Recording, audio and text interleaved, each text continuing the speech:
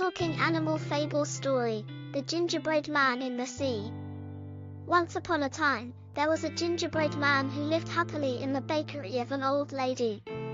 One day, due to an unfortunate incident, the gingerbread man found himself in the middle of the sea. He was exhausted and scared, but he decided to take this opportunity to explore the world and find out what lies beyond the bakery. The gingerbread man had a long and eventful journey in the sea. He encountered several talking animals, like an octopus, a whale, and a crab. They soon became friends and shared many stories with each other. The gingerbread man was fascinated by the stories of the animals, who taught him about the importance of friendship, compromise, and how to use his resources wisely. The gingerbread man also learned about the dangers of the sea, like storms and predators.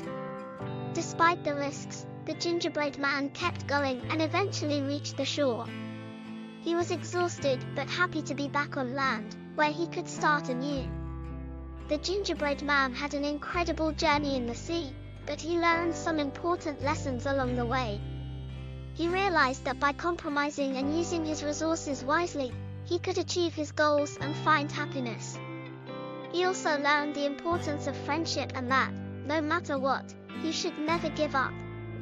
The Gingerbread Man is a classic talking animal fable story, set in the sea, that teaches us the importance of friendship, compromise, and how to use our resources wisely.